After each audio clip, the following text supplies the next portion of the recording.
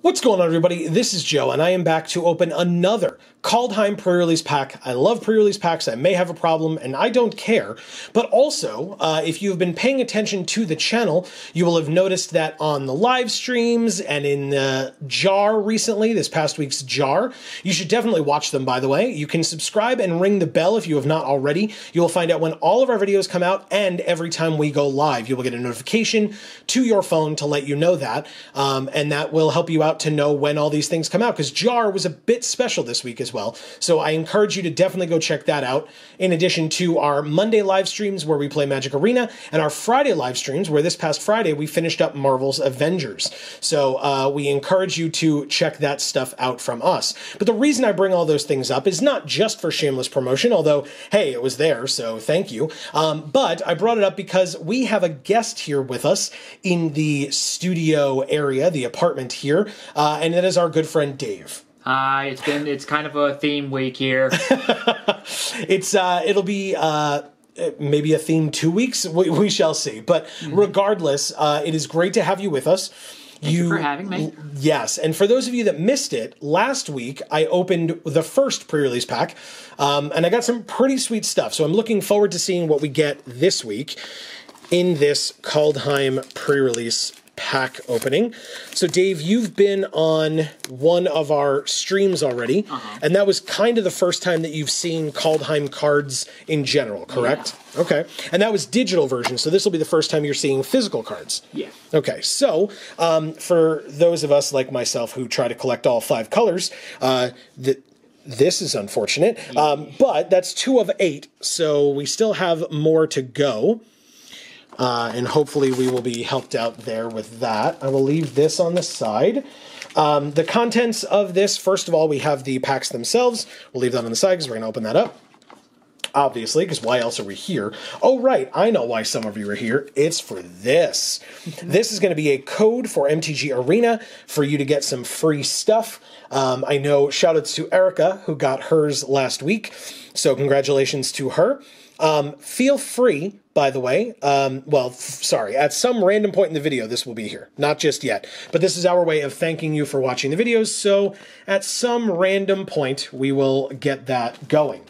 Uh, there's also an insert in there for Kaldheim. So cool looking. Kaldheim. And then the little, like, dragony looking thing here on the bottom. Getting into a big old fight.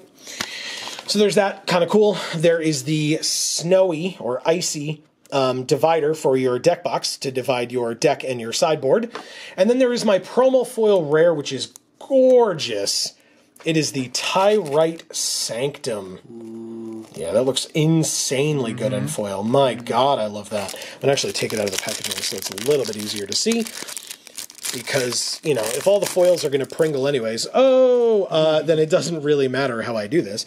Um, but I'm going to take it out so that people can see it a little bit better. My God, look at it! Look at that! Oh, it's so gorgeous. The, the, the the firefly lighting, the Saint Elmo's fire kind of thing going on. So good, so so good. So uh, that is this. Uh, to be fair, um, it's it's fine. Like if we have legendary creatures, this card's fine. If not, we probably don't play that, but it's pretty. So there's that. Uh, there's a Kaya pack. But yeah, the, the it's a land that produces colorless, and then if we have legendary creatures, then it gets really good. But we have to have like you know, probably more than two in the deck to make it worth it. So here is a Breakneck Berserker to start. Warhorn Blast. Whoops. A Draugr Recruiter. Mammoth Growth, Mistwalker. This was a good one for us this past week. Mm-hmm. Infernal Pet, Shimmerdrift Vale, gorgeous art on this land. Snowland too. Dusk Wielder, Dwarven Reinforcements, Raise the Draugr. Sick art on this one too. They're underwater, so these are the bottoms of boats. Oh wow! Yeah, yeah. Pirates of the Caribbean thing going on. Basically, yeah. Actually, we have a Skemfar Shadow Sage as our first uncommon in this pack. A Dual Strike as the second. A lot of black cards in this pack I've noticed so far. And an Aegar the Freezing Flame. This card is quite good. And it's a legendary creature, so Tyrite Sanctum says what's up. Uh, and Tyrite Sanctum can go in any deck, which is nice because it produces colorless, it's just a land. But my, my rare or mythic in the pack is A Reckless Crew. This card is very weird and probably does not make the cut. Um, because it's just weird. I don't even know that it's like like even kind of good. I don't like it. Anyway, behind Reckless Crew, we have an ice tunnel. First of all, gorgeous. Mm. Second of all, another snowland. So if we try to do blue and or black ice, this is very good for that deck. Or snow, I should say. Don't do black ice, it's dangerous. that is very dangerous. Uh, and a human warrior token. Very cool. I'll actually leave those on the side so we remember what we have. We move on to a Niko pack next. The new Planeswalker for the set, or one of the two new Planeswalkers for the set, I should say. Inside of that pack, we start with a Seize the Spoils. Okay. I mean, we've seen a lot of red and a lot of black. Obviously, we have uh, Aegar as well. Interesting. Battlefield Raptor is a very good card. Mm-hmm. In fact, we can move that a little closer. Bergstrider, also quite good. Koma's Faithful. A Horizon Seeker. Another Mistwalker another Shimmerdrift Vale, a Stalwart Valkyrie. Love the colors on any of the Angel cards, any of the like Starnheim based cards. Just gorgeous with the rainbow, a rainbow of colors in there. We have a Dusk Wielder again, a Sarulf's Packmate, very nice. A Frenzied Raider is the first uncommon. So if we wanted to go a little bit more um, aggro or reckless, we could do that with this kind of a card and some other things that we've opened, like, you know, a four mana, two, three flying death touch haste, Vengeful Reaper. This card's so good. And that's our second uncommon. Gorgeous. She's absolutely gorgeous. And a Bretagard Stronghold is the third. So if we go green and white, this card is uh, almost certainly an include. And our next rare or mythic is. Yeah, it is. Yeah. First of all, my favorite art in the set, not even a question. So gorgeous. But also, probably the best card in the set for limited. Just insane. Um, four mana make a 4 4 white angel creature token with flying and vigilance. But if you foretell it, for X X white, you make X of those 4 4 white angel creature tokens with flying and vigilance instead. Oh it is absolutely incredible. So for 5 mana, you get two four fours. Yeah, it's insane. This card's insane. So uh, yeah, this gets in. Uh, I don't. I don't I can't imagine what else we could possibly open where we wouldn't play this. But I guess the question is, what do we play alongside white? It's probably red, to be honest, based on what we've seen so far, just to be aggro as aggro as possible, and then have this just shut the door entirely on any defense our opponent could make. But you know, I'm always open to people's opinions in the comments. But yeah, this card's insane, and like at certain points in the game against most opponents, probably just unbeatable. Um, Behind Starnheim Unleashed, we have a snow covered mountain, which is pretty uh, okay. And then a Dwarf Berserker, which, again, if we are playing white red and trying to go aggro, we will almost certainly be using these. Now, after the mythic that we opened, and I did not plan that, I just put it randomly somewhere in the stack. This is a code for MTG Arena. First of all, these codes are long, so best of luck to you. But this is our way of saying thank you. We try not to advertise, except to our actual viewers, that we are that we give these away in these videos. It's to thank you for being loyal, coming here and watching our stuff. We really do appreciate it. Please remember that if you've used a code already from a Kaldheim pre-release pack on MTG Arena. You will not be able to use another. It is one per account. So be aware of that. Don't waste your time. And if you do get the code, be like Erica was last week. Again, shoutouts to Erica and congratulations to her. Be like Erica and leave it in the comments that you got that code. So first of all, we can congratulate you. And secondly, you can let your fellow viewers know that you did get this code. Proof but, of concept. Yes. But again, this is a thank you for watching our stuff. Enjoy that super long code. Feel free to pause. I'll leave it here for a couple of seconds. Best of luck to you all. Code is massive. Yep don't like again it's very clear that they like had a code or had some codes and then they were like wow we're going to run out of um, combinations of codes and characters and stuff so we got to make this thing longer which kind of sucks. But anyway here is a tibalt pack. Inside of the tibalt pack let's see what we have to follow up the best mythic in the set for limited huh? We have a brine barrow intruder first Run Amok, very good. Wings of the Cosmos, not bad. Elder Fang Disciple, Masked Vandal, Priest of the Haunted Edge, Amy would comment on his eyeshadow. A Vault Robber. Iron Verdict is a great card. Look at that dude's face. He's not happy that he's about to have his head chopped off. Nobody's resigned. He's resigned. Yeah. A Dogged Pursuit, not a bad card. Ooh, we have a showcase art Koll the Forge Master. So notably, um, we don't really have a ton of enchantments or equipment yet, but if we are going white red, I mean, this is probably the way we want to go. Hopefully, we get some more equipment. But yeah, this is the alt art, the showcase art for Koll the Forge Master. Just gorgeous. With the showcase frame and everything. The frame, absolutely. Yeah. Gorgeous. Very, very beautiful. And our first uncommon. What a what a good one to open up. We have a Surtland Frostpyre as our second. I, I don't know what it is, but like molten lava through the snowy fields is just uh, it's very striking. I agree. It's really, really nice. And again, like the Fortress of Solitude esque uh, structure in the background. And f- okay, yeah, we're probably supposed to be in those two colors, huh? uh, forging the Tyrite sword. So once again, we really want equipment, and even that, like this card is also gorgeous, by the way. Um, yeah, we want equipment. If not, neither of these two gold cards get in, even if we're playing those colors. So more equipment, please. And then our rare, because this isn't even our rare, our rare or mythic in this pack is. Okay, interesting. It's Egon, God of Death. And Egon, I'm going to have to do this this way and show it to you from the back. But Egon, on the other side, since he is a modal double faced card, is the Throne of Death. So he's the God of Death or his Throne of Death. Interesting. I don't love this card. We talked about this on our stream this past week.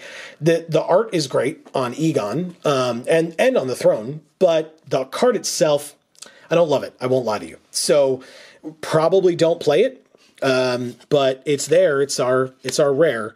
Um, and then we have a snow covered mountain. I thought there was something else in here. I think there might be, but there's another snow covered mountain. And then we have a foil common in Elder Leaf Mentor. So make sure that we can get the foiling pattern. There it is. Not- Very very nice on the um, yeah. on the shield. It's very nice Yeah. Looks really cool. And the background. But yeah i've always said the the subject of the art if it is not in foil it's not the best. But the shield looks pretty nice. So that's that saves it a little bit. And then behind it we have a replacement card uh, to put in your deck in place of like a modal double faced card so that your card has a an actual magic back if you're not planning on sleeving your deck. But as i've always said you should probably just sleeve your deck. We have another Niko pack I have noticed actually uh, a lot less Tyvar Kell packs, at least in this kit and the last kit, than um, than any of the others. It's it's odd to me. We have a Craven Hulk to start. We have a Gold Maw Champion, Mists of Littjara, Hagi Mob. This Hagi one's Mob. yeah, this is a fun one. We have a Draugr Recruiter again. We have a Jaspera Sentinel a Demon Bolt, very nice one for uh, our deck if we are trying to go those particular colors. We have another Iron Verdict, another Dogged Pursuit, a Run Ashore, not a bad card. A Spectral Steel is our first uncommon. I mean, if we're doing auras and equipments, that would work, but we don't have a lot of equipments yet, which is unfortunate. Ah, an elven bow. Unfortunately, it's in the wrong colors. Not what I meant, cards. Not what I meant for equipment. And a rune of flight, again, would be nice, but not exactly what we're looking for. This is going to be weird. Uh, so, our next rare or mythic is. Blood on the Snow. Such a cool, cool card. Um, it works in snow decks, which we don't really have. I mean, maybe we go white black instead of white red. I have no idea. Very confusing. This art is insane. It's just so cool and so well done. It's gross, but it's awesome. There's a lot of blood on that snow. Anyway, then there is a snow covered island. Not bad That's lovely. gorgeous, gorgeous, and uh, an ad card and boo ad cards. Okay, two packs remaining. Tyvar Kell. Again, as I was saying, I feel like there's so few Tyvar packs. At least in the two kits that we've opened, we've had one Tyvar pack per kit, which is very odd. We have a Draugr Thought Thief to start this pack, a Tuskeri Firewalker, Axgard Braggart. Love this guy. What a great card. Jaspera Sentinel, Village Rites, Frost Peak Yeti. Yay! He's awesome. Invoke the Divine. Sweet art on this card. Sarulf's Packmate again. Not bad. Jarl of the Forsaken. Not a bad card either. Open the Omen Paths. Is a very sweet art. Provoke the Trolls is a good card. It's our first uncommon. Invasion of the Giants. We did get Aegar earlier, but Invasion of the Giants is our second. It's not white, which is unfortunate. Although, I guess Starnheim Unleashed with the foretell of a single white could definitely be splashed if we really wanted to go two colors that aren't white. And Poison the Cup. Very good. We should very almost we should probably play black. Um, so maybe black white, maybe black and a different color like black red and splash Starnheim Unleashed. Either way, I guess we can see if this rare and or the next rare or mythic uh, help us out. But this one is wow, cool. It is an Arni Broken Brow 3 3 haste for 3, and then he can boast. So it works with the uncommon that we got earlier that gets plus 1 plus 1 counters when your creatures boast. So that's pretty cool. Plus, it is, of course, the showcase alt art. I'll also point out, I'm pretty sure this, that, yeah, two in two kits. This is my second Arni Broken Brow. It's my second showcase art Arni Broken Brow, which is always super funny to me. Like, there are showcase arts for these cards, and so many times I have more of the showcase art than I do of the original, and it, it feels like the showcase is supposed to be the special one, but sometimes it just, you know, luck of the draw doesn't really work out that way. Anyway, behind Arni, we have another ice tunnel. That's pretty good. So, two ice tunnels and a snow covered island if we wanted to go blue snow. And a zombie berserker token, which is very sick looking art. Really, really cool. He's got a huge beard, doesn't he? He is a really, but like down to here, but yeah, pretty nice. I like it a lot. I can't remember the last time I've seen a bearded zombie. right? Probably that you think the hair follicles would fall out after a while. Uh, as it's like decaying and stuff. Gross. Anyway, the final pack is a Tibalt pack. And inside of the Tibalt pack is a Master Skald. Disdainful Stroke. Cool art there. Another Priest of the Haunted Edge. A Guardian Glade Walker. It's not bad. Another Open the Omen Paths. Another Frost Peak Yeti. There you go, Dave. Yay. Another Jarl of the Forsaken. A Raven Wings. There's an equipment. It's not the best, but it's fine, I guess. An- yeah. Another Raise the Draugr. Another Invoke the Divine. And Arni slays the troll. So we not only get Arni, but we get Arni slays the troll. It's our first uncommon. It's a saga art, and so good. So good. The art. The card is also totally fine. We have a Port of Karfell. So if we did go ice tunnel colors, blue black, um, this would definitely get in. And a Maja Bretagard Protector. I mean, we did have the Sarulf's Packmates, I guess. I didn't see a ton of things in green that jumped out at me, but Maja is an incredible card. Um, interesting. Yeah, I might need some help in the comments, folks. That's for damn sure. Uh, anyway, our final rare or mythic is. Let's see if it helps. Wow, okay. Interesting pack. It is a battle for Bretagard. So again, this creates tokens. Maja wants you to go wide. Green White wants you to go wide. Starnheim Unleashed makes tokens as well. Interesting. This kit feels like it's kind of all over the place. Um, this card's pretty good though. Behind Battle for Bretagard, a snow covered island. So we have two snow covered islands, two ice tunnels, and two snow covered mountains. Interesting um, breakdown there. And a spirit token. Very cool looking spirit token as well. Okay. I mean, hey, I have genuinely no idea what I would do. Uh, you know, do I go like that last pack alone? I don't think is what pulls us into green white. I really feel like it should probably be like red black or white black or something, um, and just splashing white for um, for Starnheim Unleashed because this card's incredible.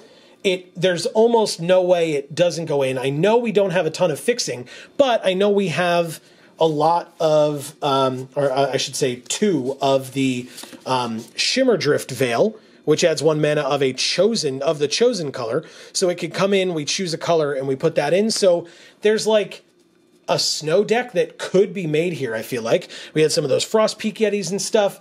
So yeah, uh, you all have the benefit of like going back and forth in the video and seeing what we opened that's those are the things that stand out to me. I'm just curious what what kind of a deck would you make with this kit? Sometimes they're a little bit more cut and dry and like obvious to me. This one, like I said, is kind of all over the place. I just feel like this mythic is so good that I would definitely want to make sure that I played it. Um, and then based on our other rares, like the Reckless Crew isn't good enough, the Tyrite Sanctum isn't good enough to like, and by good enough I mean not good enough to like be heavily considered. Um, where like we have to play those cards. So you know, Arni's fine. Blood on the Snow is good. I said I don't love Egon, um, but Starnheim Unleashed almost certainly gets in. So any opinions that you might have, we would love to hear from you down in the comments below. Dave, what did you think of uh, these like arts and stuff? We've kind of talked about that on Monday, but so I mean, I know at least that um, they obviously were going for the more Norse thing, but um, I don't know, like the the borders, especially the, the ones with the borders and the um, I've been really liking the the legends, the uh, the the story versions of them, the showcase ones, the showcase yeah, ones. yeah, yeah. But yeah, then also just like the border art is like a really nice little touch to really drive home the theme of it.